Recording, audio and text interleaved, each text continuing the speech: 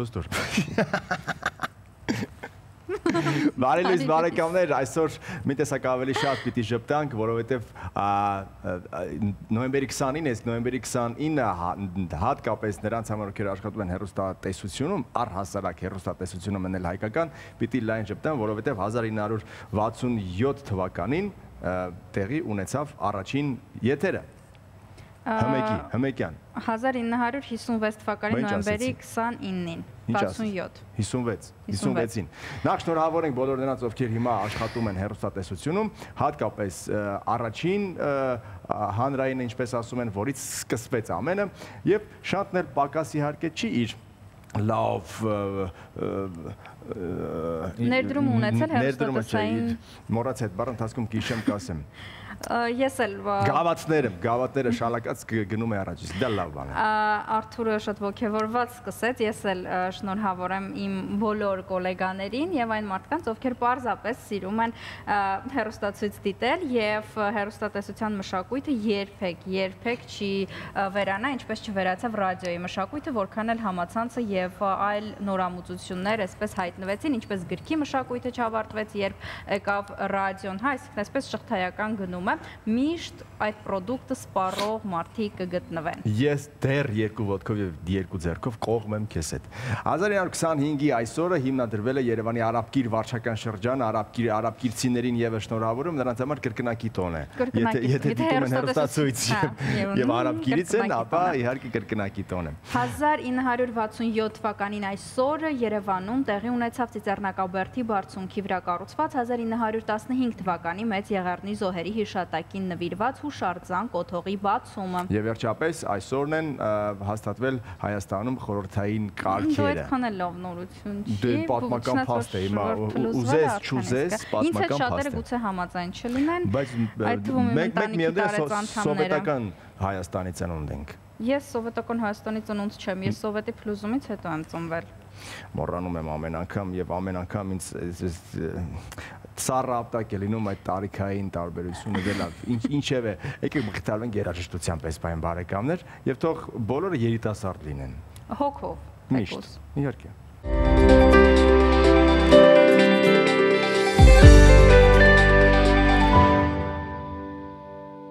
Մտքովս անցավ թե Սերժ Թանկյանը ինչ հետաքրքիր cover կաներ Արթուր Մեշյանին, չէ՞ դες հետաքրքիր տեմբրային նմանություն կար, նաև խաղիկներն էլ կար, բայց ունենք այն ինչ ունենք։ Արտուր Մեշյանը մի ուրիշ աշխարհ է, Սերժ Թանկյանը մի ուրիշ մի ուրիշ աշխարհ է։ Բայց ես ամեն անգամ օփշում եմ Սերժ Թանկյանի հայրենասիրության վրա ու այդ հայրենասիրությունը ոչ թե խոսքով է արտահայտվում, չնայած նրա խոսքը ֆանտաստիկ ուժ ունի, այլ նաև գործով։ Չգիտեմ։ Ես քննրի Սերժ Թանկյանին, Սերժ Թանկյանին հիմիկվանից հորդորեր, որ երթևեկային ձմեռային անվադողերով, որտեվ նրան երևի շատ լսող կլինի, որովհետև ճանապարհերի մասին հիմա պիտի խոսենք, ասենք, որ փակ է Արագածոտնի մարզում Ամբերտ բարձր լեռնային օթերոթաբանական կայանից Քարելիչ տանող ավտոճանապարհահատվածը եւ ասեմ ավելին հիմիկվանից սկսած ես արդեն ամեն անգամ ջեյ սուրկա լինելու ամեն անգամ նույնն ենք ասելու որովհետեւ հիմա այդպեսին է այդ բուքը բորանը նման բան է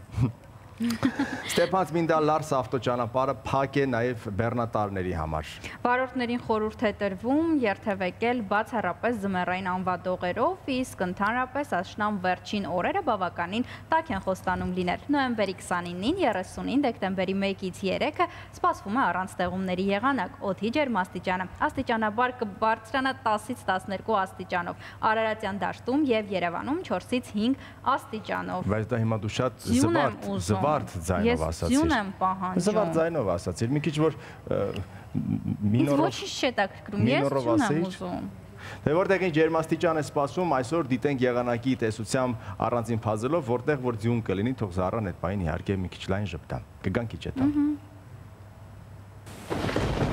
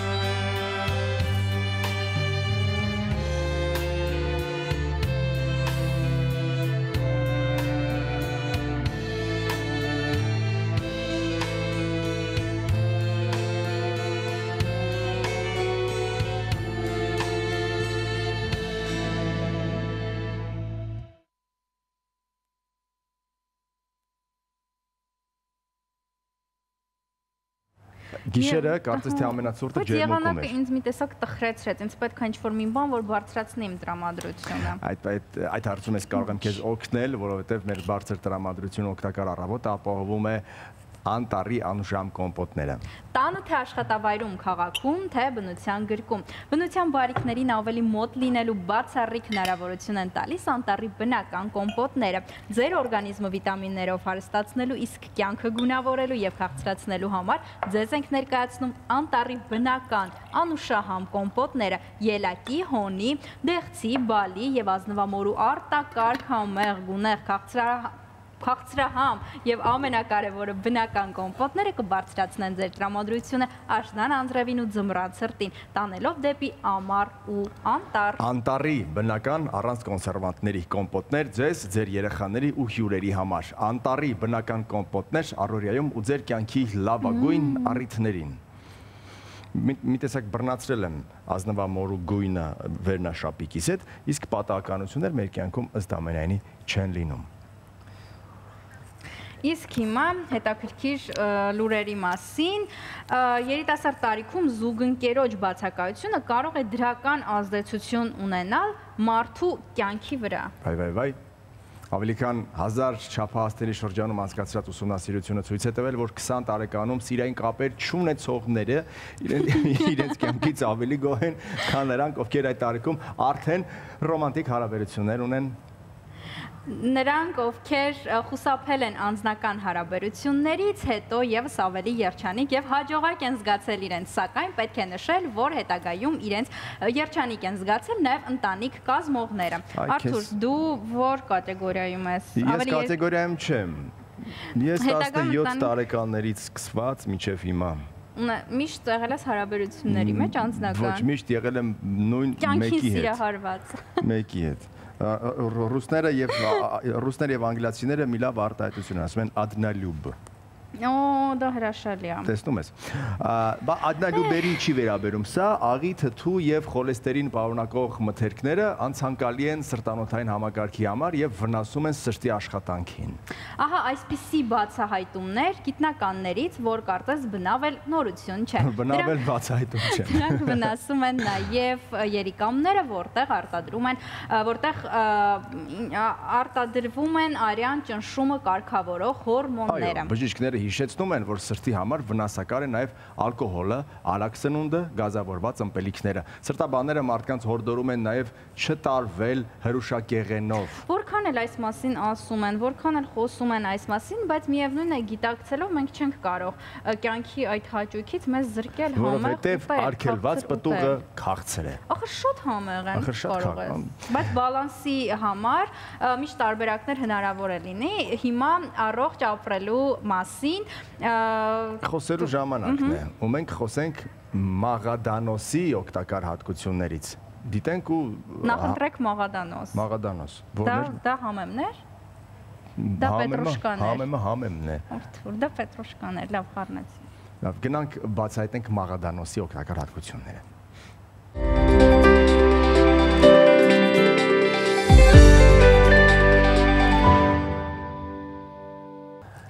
Մաղադանոսը մաղադանոս, բայց առողջությանը հետևելու համար նախ եւ առաջ պետք է հետազոտվել։ Հենց այդ պատճառով շտապեք։ Աբովյան քաղաքի Սուրբ Մարիամ բժշկական կենտրոնը մաչելի հետազոտվելու հրաշալի առաջարկ ունի։ Սուրբ Մարիամ բժշկական կենտրոնում շարունակվում է 50% զեղչը համակարգչային տոմոգրաֆիայի ԿՏ-ի հետազոտության համար։ Հետազոտվեք մինչև 2023 թվականի դեկտեմբերի 1-ը եւ դեկտեմբերի արդեն 31-ը եւ վճարեք 20000 դրամ նախքին 40000 դրամի փոխարեն։ Զեղչ անխտիր բոլոր այդ թվում Արցախից բռնի տեղահանված մեր քաղաքացիների համար է։ Հասցե քաղաքաբովյան պիոներական 1 կոտորակ 1 հեռախոս 099 42 07 40 098 90 45 64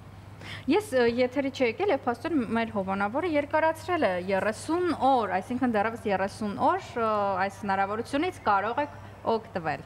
Ուղիղ եթերի ուժը։ Ուղիղ եթերի ուժը, այո, իսկ այս պահին առաջարկում ենք դիտել գովաստ, կվերադառնանք եւ կշարունակենք թողարկումը։ Խոսելու ենք մասնագիտություններից։ Ահա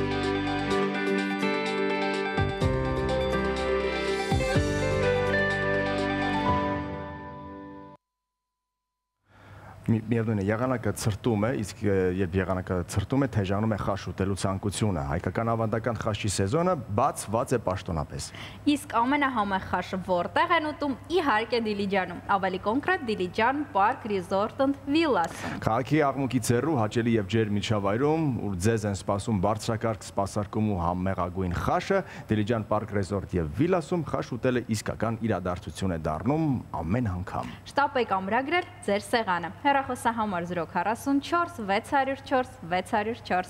Շարժվենք առաջ բարեկամներ, շարունակվում է ուսուցիչների վերապատրաստումը ու կամավոր ատեստավորումը հաստատվել են կրթական նոր չափորոշիչները։ Սա նշանակում է, որ մեր ժամանակների ուսուցիչը բացի զուտ կրթություն գիտելիք տալուց էլի շատ կարևոր աներիքներ ունի։ Ինչպիսին պիտի լինի մեր ժամանակների ուսուցիչը, ինչպիսի հմտություններով, ունակություններով։ Մեր տաղավարում է Խաչատուր Աբովյանի անվան Հայաստանի պետական մանկավարժական համալսարանի աշխատակազմի եւ միջազգային հարցերով պրոռեկտոր Մարիաննա Հարությունյանը։ Բարև ձեզ։ Բարև ձեզ։ Եվ այսպես ուսուցիչների մասին մենք բազում եւ դրամատուրգիա ունենք եւ ներկայացումներ ունենք եւ ֆիլմեր կան,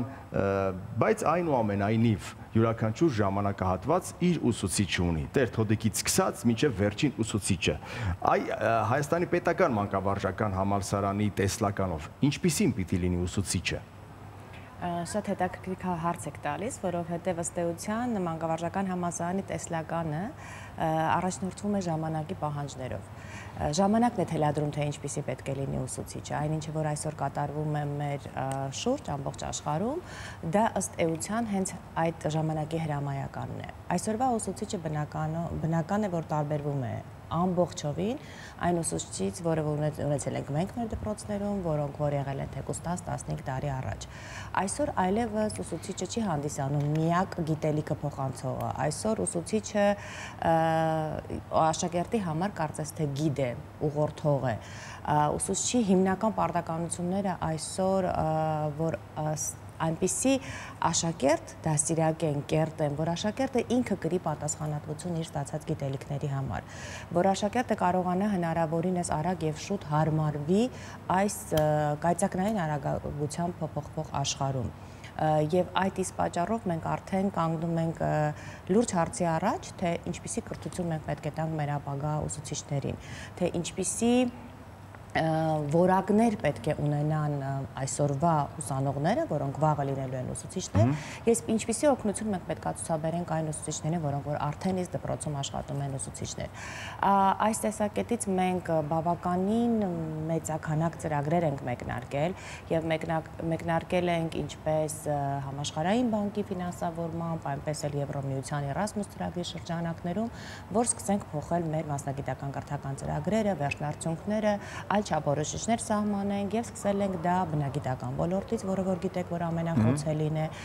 օտար լեզուների դասավանդման ոլորտից եւ հատուկ կրթության ոլորտից եւ այս մոդելը, որը որ մենք կմշակենք եւ այս ծրագրերի հիմնական նպատակն է փոփոխել այն ամենը, ինչը որ այսօր ժամանակի հրամայական է եւ դարձնել ուսուցչի մասնագիտությունը առավել գրավիչ եւ մենք գնանք դեպի արդիականությունը, դեպի այսպես կոչված թվայնացված եւ կանաչ մոտեցումը կրթության ոլորտում եւ մենք հույս ունենք, որ կհաջողենք ծրագրերը դեռ 3 տարվա ճանապարհ ունեն անցնելու, բայց մեր համասարանը ամեն օրվա ռեժիմով այս բարեփոխումների ուղղությամբ աշխատանքներ է տանում։ Եթե փորձենք օրինակով խոսել, այ ինչ առարկաներ են ավելացել, որովհետև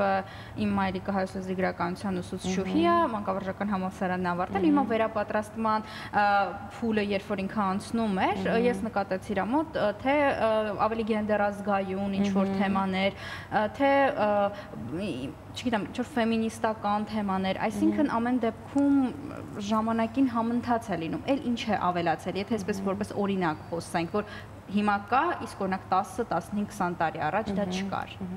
Տեսեք, ես դա չէի կոչի առարկա, հա, ես կկոչեի դա մոտեցումներ եւ մեթոդներ։ Այսօր ամբողջ աշխարհում մենք խոսում ենք 21-րդ դարի հմտությունների մասին, փափուկ հմտությունների մասին, որոնց հիմքում ընկած է քննադատական մտածելակերպը, ստեղծագործ մտածելակերպը, շփումն ու հաղորդակցումը եւ այլ այլ կարեւոր այն հմտությունները, որոնք որ անհրաժեշտ են 21-րդ դարի անձին, ոչ միայն երեխային, այլ անձին։ Եվ երբ որ մենք իրականացնում ենք վերապատրաստ նպաստումներ մենք շեշտը դնում ենք հենց այս հիմնական հմտությունների վրա։ Մենք մեզ համար շատ կարևոր է այսօր մեր ուսուցչական համակազմը կարծես թե ինքնին արդեն իսկ գենդերային խտրականությանը ենթարկված, որովհետև 90% մեր ուսուցիչները կանայք են։ Մեզ համար շատ կարևոր է որ դպրոցում լինեն տղամարդիկ, որովհետև Արդեն պատասխանեցիք մի հարցի, որը նախապատրաստել է, որտեղ գեղեցիկ սերի ներկայացուցիչները նստած են։ Գեղեցիկ սերի ներկայացուցիչ տղամարդիկ էլ են գեղեցիկ սեր, ինչու ոչ։ Դե դա ձեր կարծիքն է։ Ներողություն, շարունակենք։ եւ դա մեզ համար շատ կարեւոր է որպեսի տղամարդիկ գան դպրոց, քանի որ դպրոցը երեխայի կյանքի համար նամանավանդ տղաների համար դա ուղեցույց է, ուղենիշ է եւ ինչքան շատ տղամարդ ուսուցիչներ մենք ունենանք դպրոցում, այնքան շատ ավելի կունենանք այդ մոդելները, ում որ որ պետքա մեր երիտասարդները ժամանակի ընթացքում նմանվեն։ Իհարկե հասկանում ենք սրա համար կան օբյեկտիվ խնդիրներ, սուբյեկտիվ խնդիրներ, բայց ես կարծում եմ եւ մեր համասարանը եւ պետությունը այսօր արդեն իսկ ռեալ եւ կոնկրետ քայլեր է իրականացնում, որպեսզի մենք ավելի լավ, ավելի մոտիվացված մասնագետներ ունենանք տարբեր մասնագետ գիտությունների ոլորտներում։ Օրինակ այս տարի երևի գիտեք եղավ կառավարության որոշում համապատասխան որի բնագիտության ոլորտի բոլոր ուսանողները ստանալու են կրթաթոշակներ 70000 դրամ 70000 դրամի չափով եւ դա արդեն իսկ թվային առումով հստակ պատկեր է ցույց տալիս թե ինչ կարգավիճակ ունենք մենք անցյալ տարի եւ ինչ կարգավիճակ ունենք այս տարի այս որոշում ունենալուց հետո եթե անցյալ տարի ունենք բնագիտության ոլորտում 61 դիմորդ այս տարի արդեն ունենք 128 դիմորդ, որտեղ սա ցույց է տալիս, որ միգուցե մարդիկ իրոք հետաքրքրված են, կա մոտիվացիա, բայց ուսման վարձը իրենց համար խնդիր է, իսկ պետությունը թույլ տվեց այս հարցը լուծել։ Ինչու սկսեցինք բնագիտական ոլորտից, որովհետև սա ամենապահանջված ոլորտն է եւ ցավոք սրտի Հայաստանում մենք գիտենք, որ մենք ունեցել ենք լավագույն բնագիտական ոլորտը, բայց այսօր այս ոլորտը շատ դժում է, քանի որ մարդիկ չեն ուզում գան այս ոլորտ եւ մեր նպատակն է հրավիրել եւ ավելի բաց, ավելի հետաքրքիր, ավելի հասանելի դարձնել այս բնագիտական ոլորտը եւ հետո կարծում եմ կսկսենք այս ոլորտից եւ հետո կշարունակենք եւ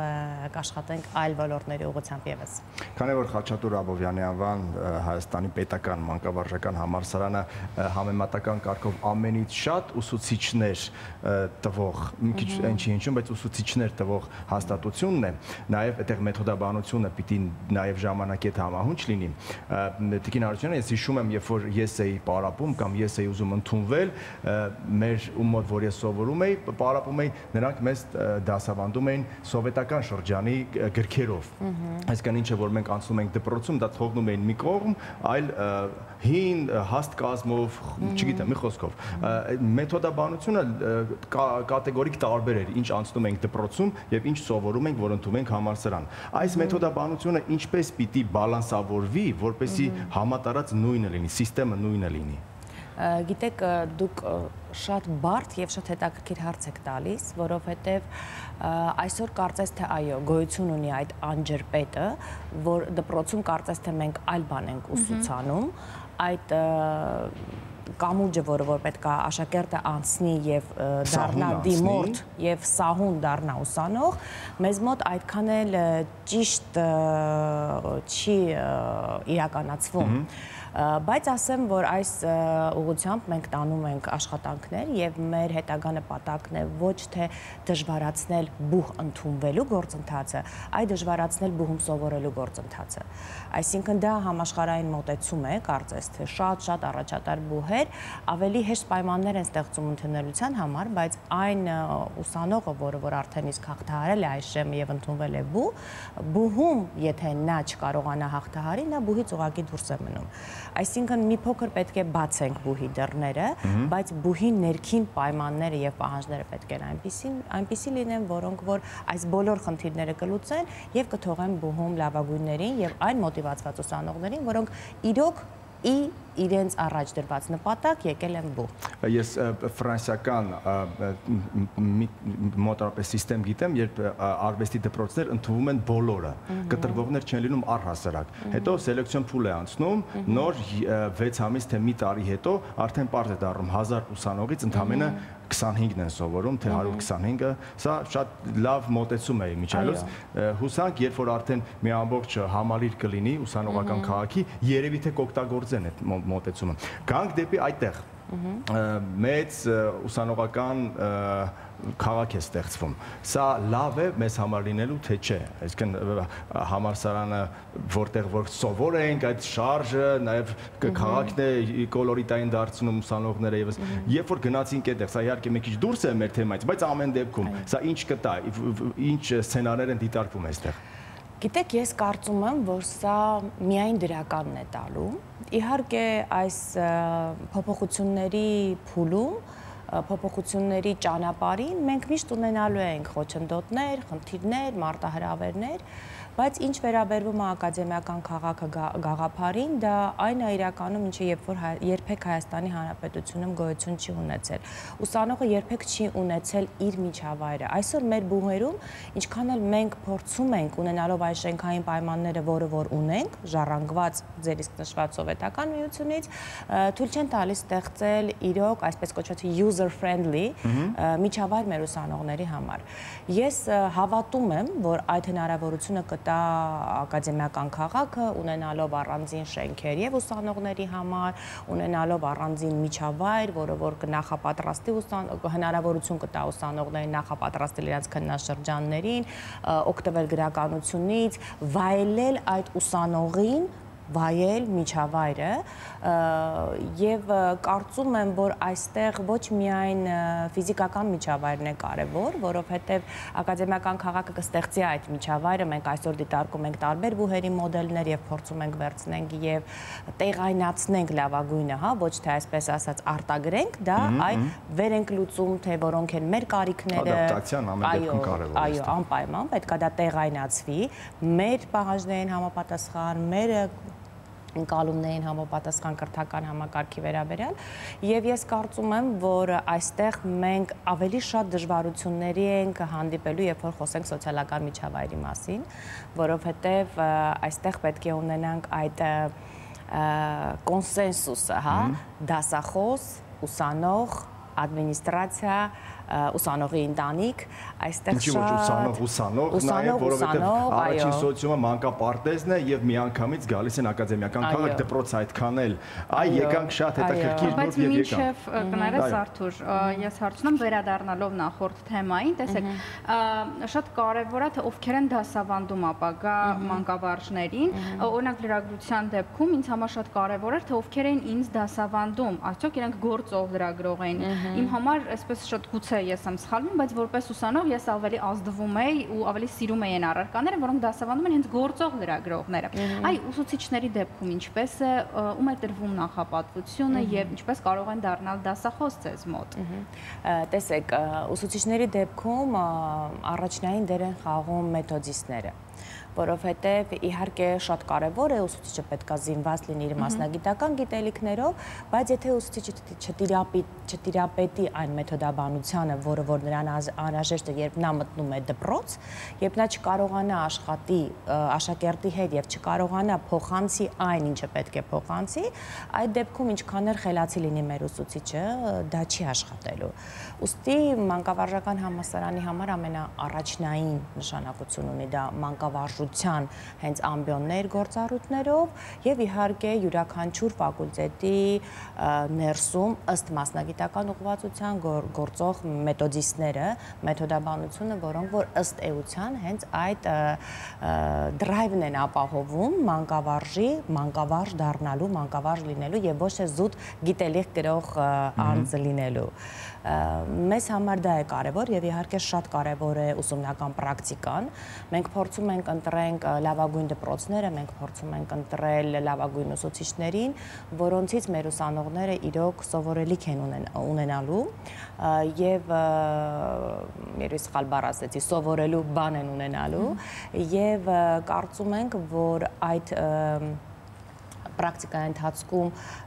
տեսածը, զգացածը եւ ինչու՞ չէ նաեւ մասնակցություն ունենալը ուսանողի կողմից շատ կարեւոր է եւ ուսանողը իր մեջ արդեն կարողանում է կերտել իր պատկերացրած ուսուցչի լավագույն կերպարը եւ դե դա մենք համոզում ենք դրա մեջ մենք համոզում ենք երբ որ ուսանողները վերադառնում են պրակտիկա եւ սկսում են բավականին բուրըն քննարկումներ իրականացնել վերհանելով ուժեղ եւ թույլ կողմերը եւ ես կարծում սա այդ առաջի քարն է որը որ մենք դրել ենք որ այո նրանք վաղվա դպրոցը կկարողանան ճիշտ կառուցել։ Միջև վաղվա դպրոցը այսօրվա դպրոցից դեռ խոսենք, Տիկին Հարությունյան, ներառական կրթությունը ոնց որ թե առաջնային պլան է գալիս ամեն հաջորդ տարի եւ սա լավ է։ Ինչ ունենք ներառական կրթության ոլորտում, մասնագետները շատ են, շատանում են, ամեն կերպ այնպես են կանում որ գրավիչ դառնա այս ոլորտը եւս։ Ինչ ունենք այստեղ։ Բայց կներեք լրացնելով այս հարցը, պետք է հաշվի առնել, որ երբ որ ներդրվեց ներառական կրթությունը, ուղակի ուսուցիչներ, այսինքն իրենք վերապատրաստում դեռ չունեն եւ իրենք պետք է աշխատեին երեխաների հետ, որոնց հետ նախկինում աշխատելու փորձ չէին ունեցել։ Սա շատ խոցելի պահ է իրականում։ Ներառական կրթությունը այսօր մարդու իրավունք է այսօր մենք պետք է հարգենք այդ իրավունքը եւ այդ իսկ պատճառով 2016 թվականին ընդունվեց հայեցակարգը կառավարության որոշմամբ անցում կատարվեց համընդհանուր ներառական կրթության կարծես թե անցումը սահուն էր կատարվելու, բայց ձեր նշվածը այն, որ ուսուցիչները պատրաստ չեն եւ ավելին պատրաստ չեն ծնողները, պատրաստ չեն երեխաները, առհասարակ ոչ մեկ պատրաստ չէր դրան։ Մենք կարծես թե փորձեցինք ներմուծել գաղափարը առանց հողը պատրաստելու բայց ոչինչ, այդպես էլ են լինում բարեփոխումները։ Մենք այս ճանապարհը դեռ շատ, շատ, շատ, շատ անելիքներ ունի եւ յուրաքանչյուրս այստեղ եւ մեր համասարանը, որտեղ մեր համասարանը միակն է, ով ունի հատուկ եւ ներառական կրթության ֆակուլտետ, իհարկե իր աջակցությունը կցուցաբերի նախ եւ առաջ տարբեր տիպի հետազոտական աշխատանքների շնորհիվ, որ մենք հասկանանք որն է իրականում խնդիրը։ Մենք իհարկե որպես մասնագետներ այցելում ենք դպրոց, խոսում ենք ուսուցիչների հետ եւ կիսում ենք իրենց բոլորի մտահոգությունները, որովհետեւ բոլորը ավելի քան ակտուալ են եւ իրական, մենք փորձում ենք մեր մոտեցումներն ու մեթոդները առաջարկել եւ քանի որ նոր ենք սկսել այս ճանապարհը, այստեղ դեռ անցնելիք անց այն ճանապարհը, որ որ պետք է անցնենք, երկար է եւ այստեղ դեռ լինելու են կարծում եմ էլի բարեփոխումներ հաշվի առնելով այն ինչը որ այսօր կա մենք պետք է հստակ հասկանանք թե որոնք են այն երեխաները, որոնք իրոք դպրոցից վերցնելու բան ունեն, այսինքն պետք է հասկանանք, երբ որ խոսում ենք ներառական կրթության մասին, արդյոք դա ակադեմիական գիտելիքների մասին է խոսքը, թե սոցիալիզացիայի։ Մենք ինչի համար ենք ուզում, որ բոլորը միասին լինեն նույն միջավայրում եւ ինչա նշանակում առասարակ բոլորը լինեն մի միջավայրում, միևնույն դասարանում, միևնույն դպրոցում, միևնույն թաղամասում, միևնույն համայնքում, այդ ամեն ինչը դեռ պետք է հետազոտվի, այդ ամեն ինչը դեռ պետք է քննարկվի։ Ես կարծում եմ, որ հիմա մենք բնականon այդ փուլն ենք անցնում, որ ներդրել ենք բարեփոխումները եւ իհարկե դա շատ մեծ բեռ է ուսուցիչների համար, բայց մեր ուսուցիչները իրանք այնքան պատրաստական են եւ այնքան ներդնող են, որ հասկանում են այդ խնդիրը եւ փորձում են հնարավորինս շատ իրենց մասնակցություններ ունենալ եւ լուծել այն բոլոր դժվարությունները, որոնք որ ի հայտ են գալիս դասարաններում։ Լիահույս ենք եւ համոզված, որ Խաչատուր Աբովյանի անվան Հայաստանի պետական մանկավարժական համալսարանը այս խնդիրն էլ կլուծի, ինչպես որ միշտ է պատվով սուրը դրել պատյանը, այսպես ասում են։ Շնորհակալություն հայտնենք նաև նույն համալսարանի աշխատակազմի եւ միջազգային հարցերով պրոռեկտոր Մարիաննա Հարությունյանին զրույցի համար եւ հավելենք, որ ուսուցիչը նա չի ով սովորեցնում, այլ ուսուցիչը նա է, ումից սովորում են։ Սա ամենակարևորն, նժդեհն էր ասել, ես չի ասել։ այս հրաշալի արտահայտությամբ էլ առաջարկում եմ գնանք գովազդի։ Գնանք գովազդի։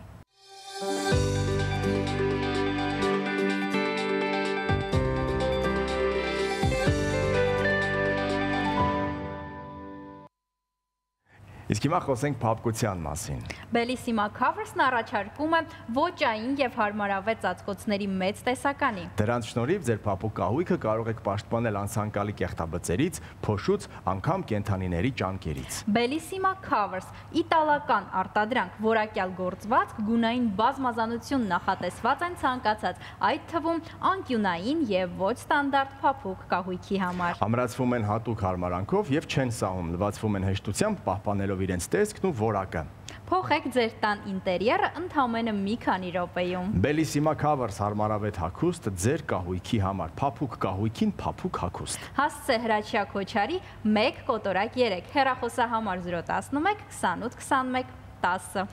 Ես այսօր դեռ չեմ հասցրել այդ արտահայտությունը անել, ուստի կգամ բացը լրացնելու։ Այսօր չորեքշաբթի է, մի քիչ ուրբաթ։ Էնպես որ ուրբաթյան տրամադրություն ուղարկենք ձեզ երաժշտության տեսքով համեցեք։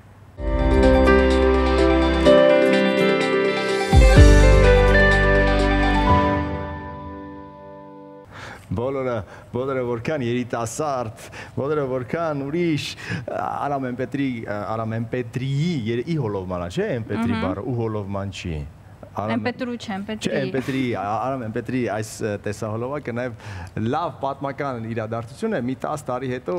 նույն աստղերին համեմատելու համար։ Լավ, լավ տեսահոլովակ էր։ Իսկ այժմ հերթը հասավ հայկական հետագծին, որ այսօր մեզ կտանի Նյու Յորք։ Մարտով օրինել է առաջին սայլակը հաշմանդամների համար։ Մարտով ամբողջ կյանքում մտածել է սահմանափակ կարողություններով մարդկանց կյանքը թեթևացնելու մասին։ Սահմանափակ կարողությունները արտահայտությունը մենք բոլորը սահմանափակ կարողություններ ունենք։ Անկախ նրանից մենք կարողանում ենք քայլել, կարողանում ենք տեսնել, թե ոչ։ Անսահման կարողություններ ունեցող մարդիկ աշխարհում չկան, դա շատ խտրական է։ Արթուրը գիտեմ, դիտավորյալ դա ասած։ Կան, կան Marvel-ում այնտեղ սուպերմեններ են։ Հա, սուպերմեններ, բայց իրական կյանքում իրական կյանքում չկան։ Չկան, իմիջայլոց լրացնելով այս նյութը ասամ, որ Մերիլին Հեմիլթոն Կուբացյանը այն հայուհին է, այն կինն է, ով թենիսի չեմպիոն է նաև ինքն էլ ուներ հաշմանդամություն եւ ինքն էլ հայտնագործել է, կատարելագործել է հաշմանդամության սայլակը, ավելի թեթև է դարձրել, որպեսզի սպորտային տարբերակն է ստեղծել։ Դե տեսակ ինչ լավ իմացանք։ Գնանք նաեւ առաջին սայլակը հաշմանդամության համար հնարող հային բացահայտենք իրար հետ հայկական հետագծով։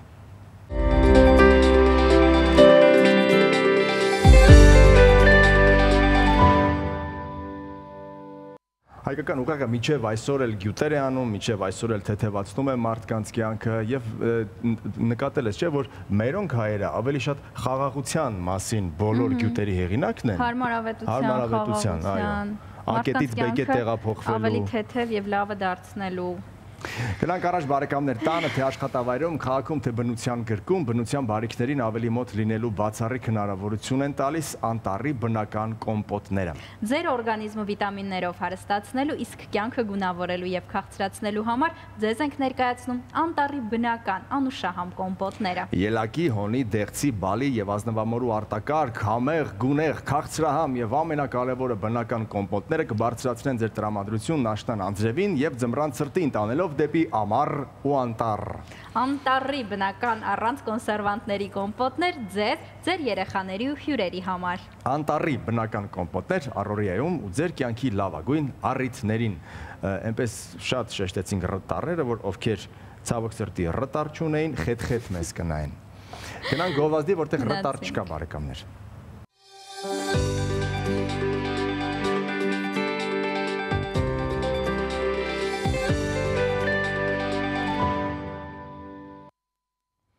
Այժմ բարեկամներ ուշադրություն, Աբովյան քաղաքի Սուրբ Մարիամ բժշկական կենտրոնը տարիներ շարունակ լուրջ հաջողություններ է գրանցել մաշկային հիվանդությունների, հատկապես փսորիազի, ատոպիկ դերմատիտի,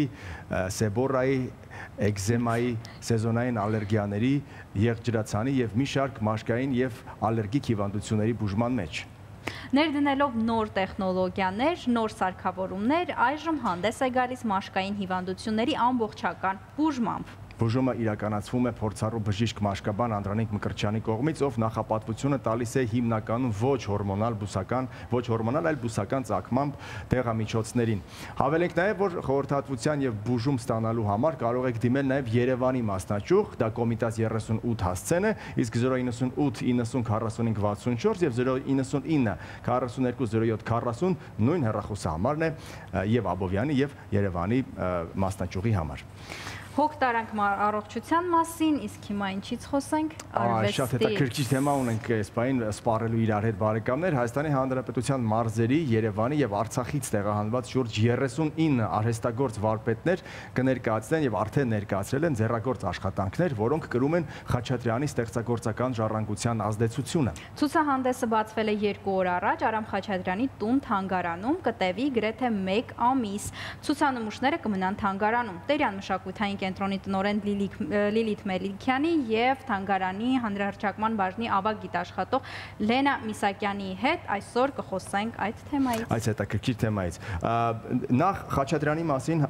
որովհետեւ տարին Խաչատրյանական են, դեռ սկսենք այդտեղից 120-ամյակն է մայստրոյի լեգենդար հայի, համարը ամեն ինչ արեցինք, ամեն ինչ տեսանք, բայց այս կոնցեպտը ոնց որ թե նորություն էր ոնց որ թե։ Եկեք սկսենք գաղափարից համագործակցությունից ինչպես եղավ, որ եղավ։ Նախ բարև ձեզ։ Շատ հաճելի օր է սկսել ձեզ մոտ եւ նշեմ, որ համագործակցությունը արդեն ունի տարիների պատմություն, ում համար նոր է, ում համար ոչ եւ այս առումով երևի թե եթե չեմ սխալվում Իսահակյանի խոսքերն են, որ արվեստը ընդունակ է մոռացնել տալու կյանքը եւ հաղթելու մահը, եթե այն սիրում ես ու նվիրվում։ Այս առումով Տերյամշակութային կենտրոնի ողջ մենք ասում ենք հրաշագործների թիմը, իդեմս մեր սիրելի Լիլիթի, իսկապես իրենց գործի իրական նվիրյալներ են, որովհետև համագործակցում ենք արդեն քանի տարի եւ երբ որ հանդիպում են նաեւ թանգարանային ոլորտի նվիրյալների հետ, պատկերացրեք համագործակցությունը ինչ գեղեցիկ է եւ համահունչ է ստացվում։ Լավ, այդ կետը որտեղ ստացվեց, որ չգիտեմ, Լիլիթը ասեց այս գաղափարը թանգարանի կողմից եղավ առաջարկը, ո՞նց եղավ։ Միտքը ո՞նց հղացավ եւ որքան աշխատեցի։ Ես էլ բարևեմ իմ հերթին, շնորհակալություն ասեմ հյուր հրավիրելու համար եւ պատմեմ ինչպես առաջացավ գաղափարը։ Նախ մի քանի տարի առաջ շատ ակտուալ էր գոնե ինձ համար որպես վարպետի եւ վարպետի վարպետների մի խումբ վարպետների առաջնորդի կարելի է այսպես ասել, որ մենք վերջապես թանգարանային հուշանվեր գաղափարին անդրադառնանք յուրովի, այսինքն ամեն թանգարան ունենա այն հուշանվերը, որ միայն իր թանգարանի մասին է եւ մենք կարողանանք թանգարան հրավիրենք նույնիսկ հուշանվերով, այսինքն մարդը իմանա, որ ինքը ունի առնելու ինչ որ մի հատ յուրահատուկ մի բան եւ ինքը պետք է հենց այդ թանգարանն այցելի։ Որտեվ պետք է կապը լինի։ Ես գնացի թանգարան, տեսա լավ հուշանվեր եւ ես այդ հուշանվերը գնելու համար ես եկա այս թանգարան կրկին անգամ որտեվ ես ինքս այդպեսին եմ, ես գիտեմ, որ երկրում որ թանգարան գնամ, որ ինչ ունենամ։ Այսինքն միշտ չի, որ դու պետք է գնաս թանգարան ու այնտեղ քո համար հայտնվես, քեզ հուշանվերը պետք է այդ երկիր կանչի։ Այց է քարտի պես մի բան։ Եվ մենք այդ գաղափարախոսությունը ունենք արդեն մի քանի տարի առաջ ու երբ որ սկսել ենք ուսումնասիրել թանգարանների պահոցները ու հասկանալ որ թանգարանում ինչ հուշանվեր կարելի առաջարկել, որ ինքը հենց իր մասին լինի, վառ օրինակներ մի քանի արդեն արեցինք թանգարանում այդպիսի կոնցեպտ եւ Ասլամազյան քույրերն էին եւ Սիսյանի պատմության թանգարաններ, որ ստեղծեցինք այդտեղ անկյուններ, որ հենց իրենց մասին պատմող հուշանվերներ արեցին, կարծես ես մտածում եմ, որ շատ լավ կլինի, որ Խաչատրյանական տարին, որը սկսեցինք ցուցադրությունով, իդեպ որ նոր էր սկսել տարին, մենք արեցինք Գայանեն մեր պատկերացմամբ եւ ցուցադրեցինք fashion show-ի նման հենց թանգարանում եւ ավարտին մտածեցինք որ լավ կլինի այն ինչ փորձում ենք մենք, այսինքն մենք մի տեսակ արդեն հին վարպետները, Ստերան մշակութային կենտրոնը առաջնորդենք, որ մեր մեր վարպետները, արեստագործների միությունը նույնպես այդ փորձառությունը ունենա եւ սկսի համագործակցել։ Ինչու հենց Արամ Խաչատրյանի տուն թանգարանը, որտեվ հատուկ պիտի նշեմ նախ թանգարանի հետ ու թանգարանների հետ աշխատելը մեզ մոտ լավ է ստացվում եւ այս թանգարանի հետ շատ շատ արդյունավետ, որտեվ շատ բաց են, որտեվ տրամադրող են, որտեվ անձնակազմը բարի է քո նկատմամբ ու դու կարողանում ես ամեն հարցի պատասխան։ Ցույց տան, ապա կարմիր գույնով նստած է նա արդեն։ Շնորհակալություն կոմպլիմենտների համար, ասում եմ թանգարանի անունից, այո։ Երբ առաջին անգամ թանգարան էի գնացել արդեն ոչ թե որպես այցելու, այլ որպես մարդ ուզում հասկանալ, իսկ ինչ թանգարանային հուշանվեր կարող է լինել, Արմինեն ղեկավարը թանգարանի ինձ մի հետաքրքիր պատմություն պատմեց, ասաց, գիտես, Բաքում ունենք ծառ, պոպոքի եւ մեզ միշտ պատմել են, որ այդ պոպոքի ծառը Արամ Խաչատրյանն է հենց իր ձեռքով տնկել։ Ու ես այդտեղ մտածում ինչ լավ կլիներ, որ եթե հուշանվերի խանութում անգամ անկույզի մուրաբա լիներ ու ինքը սիմվոլիկ լիներ։ Այս ծառի անկույզի մուրաբան, այսինքն դու դրանով բնականաբար հորինում ես, բայց ինքը շատ լավ հրամցնելու մի բան է, հա, որ պատմում ես, որ ինքը իր ձեռքով տնկած ծառը ունեցել եւ այդ ավանդույթն է շարունակում։ Եվ այդ այդ այդ հասկանալով հրավիրեցինք մեր վարպետներին որ իրենք ողքեվորվեն, ողքեշնչվեն։ Իդեպ ասեմ, որ վիզուալացնել երաժշտությունը կամ կերպարը շատ դժվար է, շատ։ Մենք շատ դժվար աշխատեցինք, բացի այնից, որ դժվար էր կարողանալ լսել Արամ Խաչատրյան եւ վիզուալիզացնելու, դա չպետք է լիներ անպայման հենց Գայանեն կամ Սպարտակը, դու պետքա մտածես, դու պետքա շատ կարդաս, դու պետքա շատ լսես, նայես, իսկ ինչ ֆիլմերում է օգտագործվել այդ երաժշտությունը, իսկ ինչպես են մատուցում տարբեր խմբեր այդ երաժշտությունը եւ ինչ ստեղծագործողներ են ինչ նկարել այդ դրա մասին, այսինքն դու պետքա ամբողջական մի ժամանակ տրամադրես դրան, ընթացքում եղավ այնինչ եղավ, մենք պահը օգտագործեցինք սեպտեմբերին պետքա լիներ ցուցահանդեսը բայց նկատի ունենալով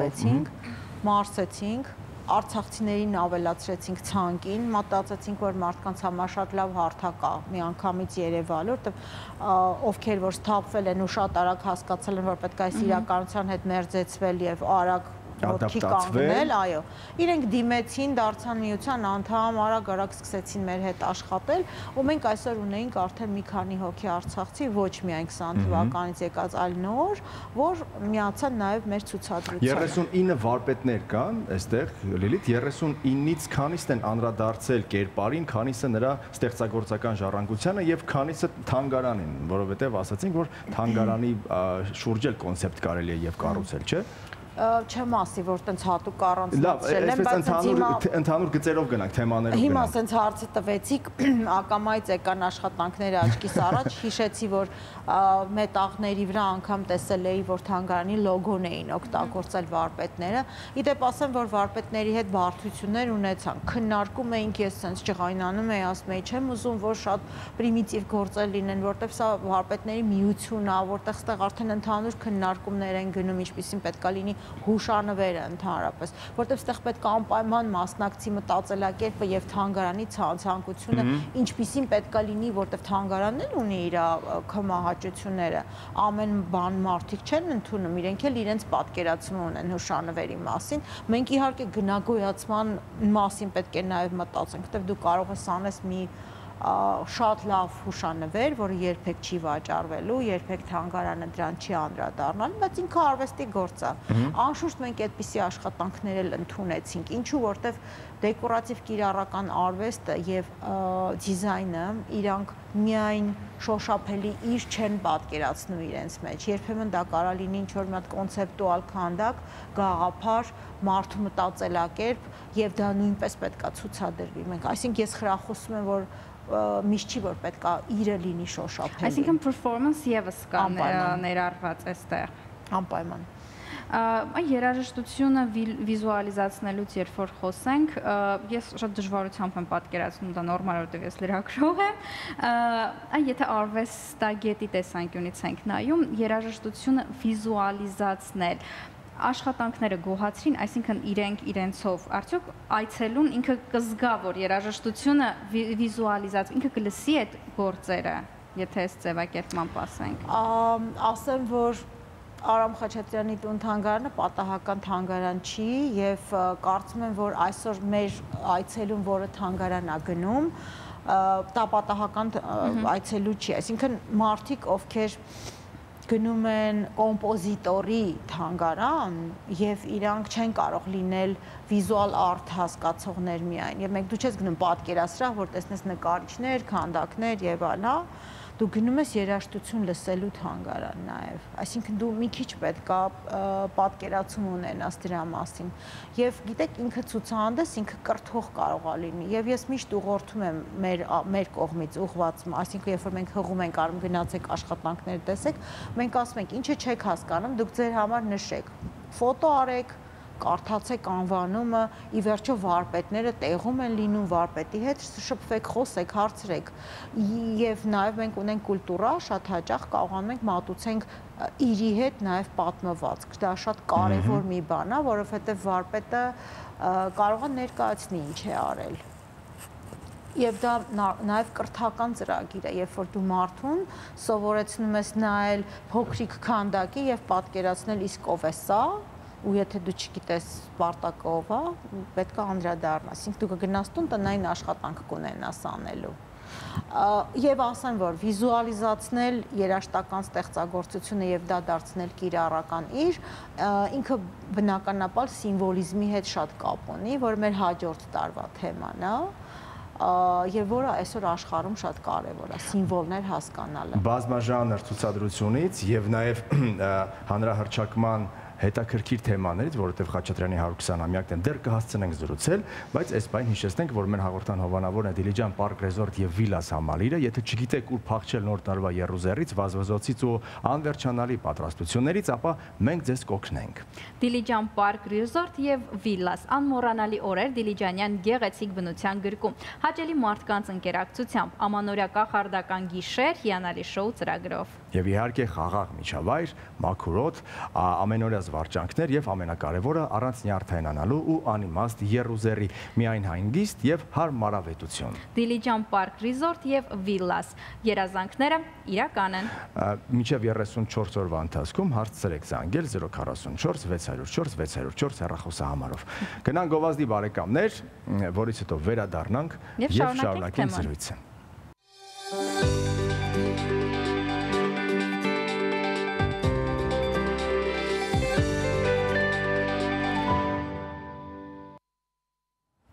Վերադարձանք տաղավար եւ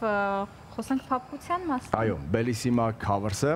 մեր հաղորդման հովանավորը առաջարկում է ոչային եւ հարմարավետ ծածկոցների մեծ տեսականին։ Դրանց շնորհիվ ձեր փափուկ կահույքը կարող եք պաշտպանել անցանկալի կեղտաբծերից, փոշուց, անգամ կենթանիների ճանկերից։ Bellissima Covers իտալական արտադրանք, որակյալ գործվածք, գունային բազմազանություն։ Նախատեսված են ցանկացած այդ թվում անկյունային եւ ոչ ստանդարտ փափուկ կահույքի համար։ Ամրացվում են հատուկ հարմարանքով եւ չեն սահում։ Լվացվում են հեշտությամբ, պահպանելով իրենց տեսքն ու որակը։ Փոխեք ձեր տան ինտերիերը ընդամենը մի քանի րոպեում։ Bellissima Covers հարմարավետ հագուստ ձեր կահույքի համար, փափուկ կահույքին, փափուկ հագուստ։ Հասցե Հրաչյա Քոչարի 1 կոտորակ 3 հեռախոսահամար 011 28 21 եւ 10։ Հիշեցնեմ զրուցում ենք Տերյան մշակութային կենտրոնի տնօրեն Լիլիթ Մելիքյանի եւ Արամ Խաչատրյանի թանգարանի հանրահարճակման բաժնի ավագ գիտաշխատող Լենա Միսակյանի հետ։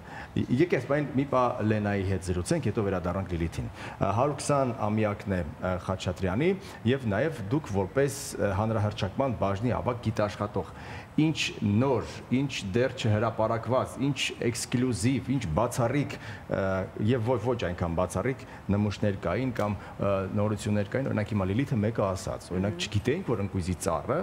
տնկել է Արամ Խաչատրյանը եւ սա լավ առիթ է մեր եթերից, որ հիմա մարդիկ իմացան։ Այլ ինչ ունեինք 120-ամյակի շրջանակներում։ Իրականում ովքեր գալիս են թանգարան, նրանք արդեն իսկ վաղուց գիտեին, որ ընկուզերին Արամ Խաչատրյանի տնկած ծառն է, որովհետեւ մենք հենց բացահայտում ենք մեր այգում կանգնած բոլորը իհարկե հիանում են եւ այլն, մենք էլ հաջողակ էինք, որ կարողանում ենք պտուղները նույնիսկ ճաշակել։ Ցավոք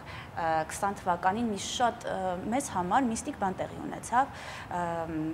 այդ այտալի դեպքերի օրերին 44 օրյայի ընթացքում այդ ծառը ուղակի մահացավ միայն բոլորս աշխատակիցները շշմած ենք այդ երևույթից, ինքն էլ բավականին բարձրահասակ ծառ էր եւ շատ բարդ կլիներ իր հետ ինչ որ բան անել։ Մասնագետների հրավիրեցինք, ասեցին փրկել հնարավոր չէ։ Իսկ ընկուզանին ընդհանրապես երկարակյաց է 100 տարի եւ ավել կարող է ապրել։ Եվ մենք այն ցավոք հատեցինք, բայց տեղում տնկեցինք մեկ այլ հայկական խորհրդանիշ արդեն ծիրանենի է մեզ մոտ տնկած եւ քանի որ նաեւ դուդուկն է պատրաստվում ծիրանենու փայտից եւ այլն որոշեցինք որ պետք է այդտեղ ծիրանենի լինի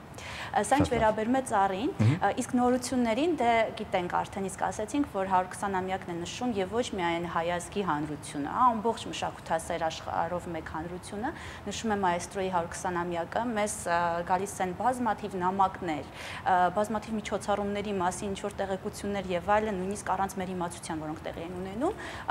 թե մեր թանգարանում քանի-քանի միջոցառումներ են կազմակերպել, ուղղակի անթիվ են, որ թիվը հարցնեք, չեմ էլ կարող ասել եւ դեռ շարունակվում է։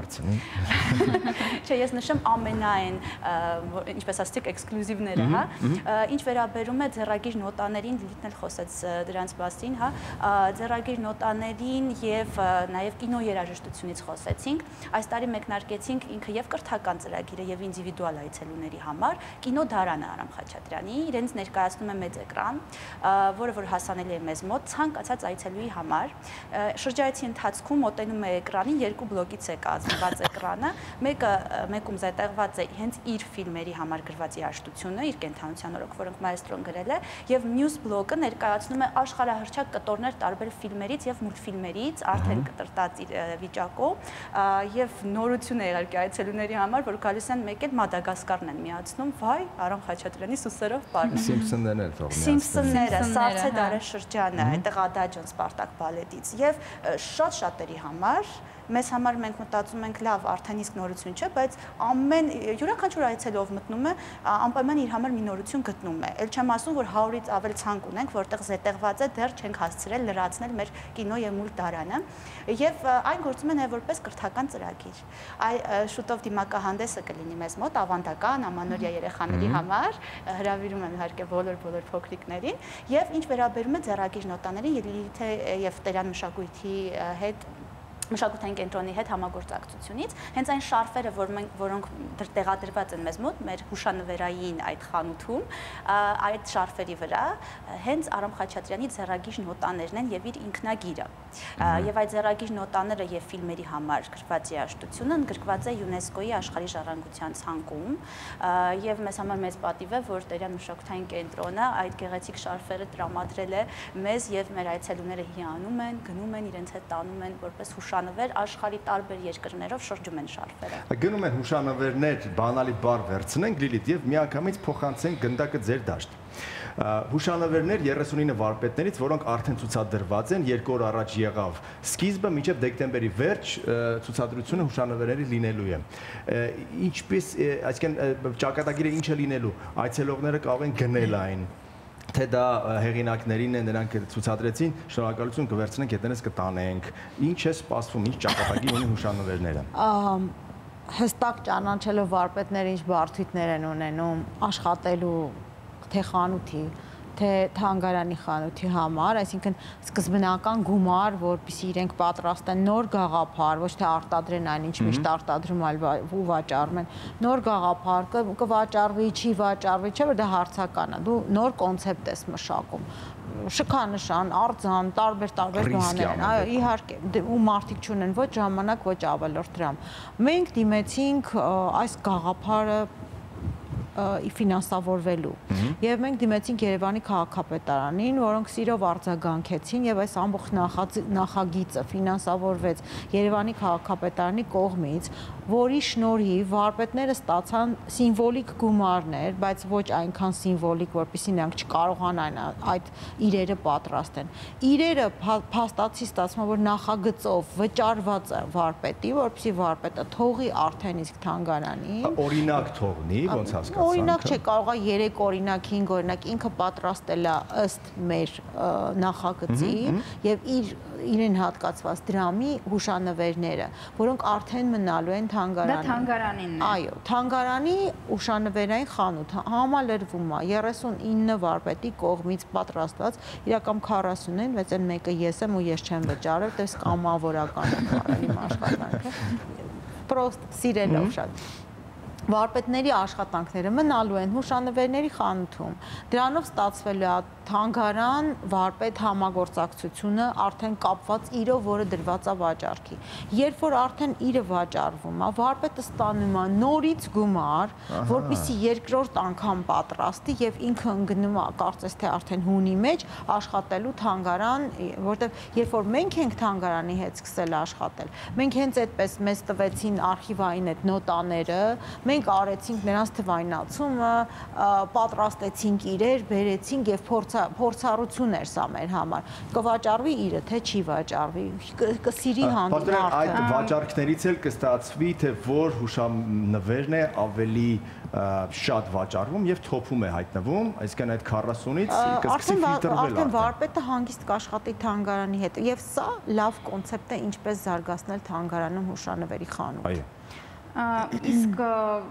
ինչ որ մրցույթ կամ չգիտեմ ողջևորող մի բան լինելու է, որը ոնց հասկացա որոշելու են հենց այցելուները։ Ինչ կարգով է ամեն ինչը լինելու եւ ինչ են ստանալու վարպետները դրա դիմաց։ Իսկ սկզբանե մրցույթը դրված էր նախագծի մեջ, որտեղ նույնպես մրցույթը դրամաշնոր, այսինքն դրամա ստանալու այն մարդը, ով կլինի լավագույն կրեատիվ գաղափար ստեղծող, ով կլինի լավագույն աշխատանք անողը, հա։ Երեք մրցանակ ունենք, երեքն էլ դրամական, երեքն էլ տրամադրված ցուցադրված հենց նույն ծրագրի, այսինքն Երևանի քաղաքապետարանի կողմից եւ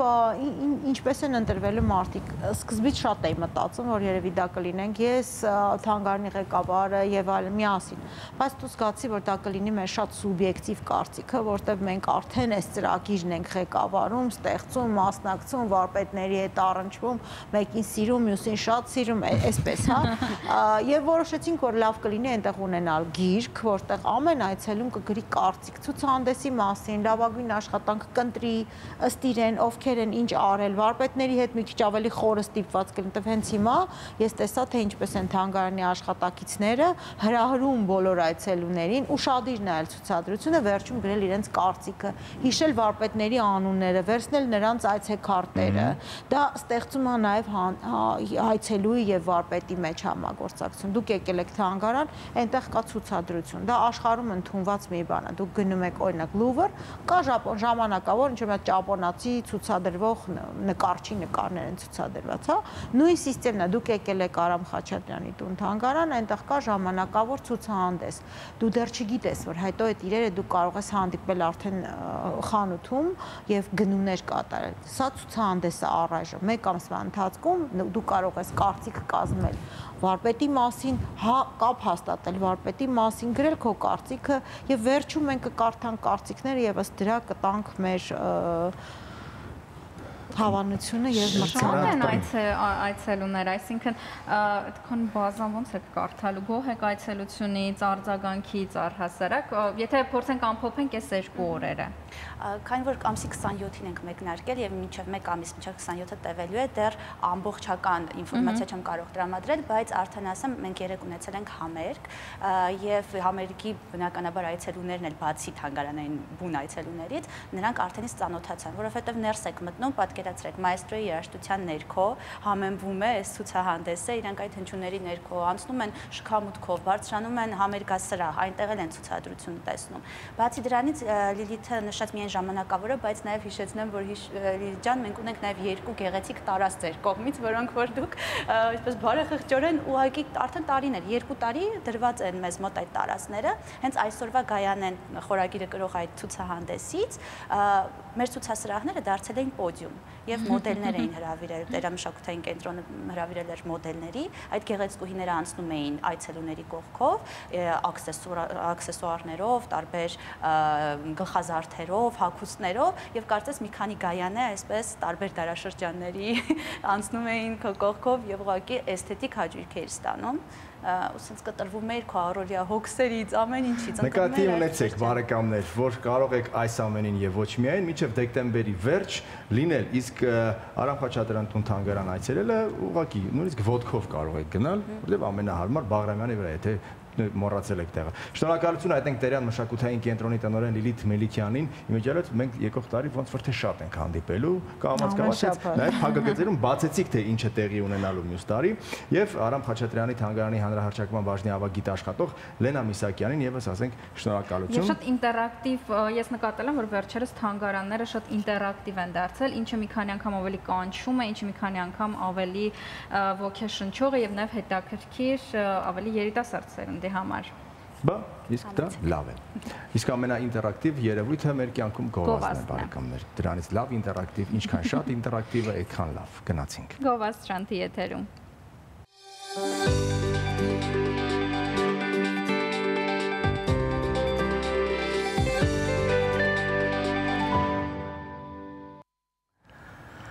Իսկ հիմա ինչ լավ կլինի, որ գնանք ծով որևէ, բայց եկեք աշխարհի ծովերով անցնենք դիտենք ու զարմանանք։ Ինձ թվում է զարմանալի բաներ են մեզ ցույց տալու։ Այո, իսկ իմ ամենասիրած ծովը կարմիրն է։ Ինչ ծով ուզում եմ։ Ես չունեմ սիրելի ծով։ Չէ, կարմիր ծովը սիրում եմ։ Դե լավ, գնանք տեսնենք ծովերը։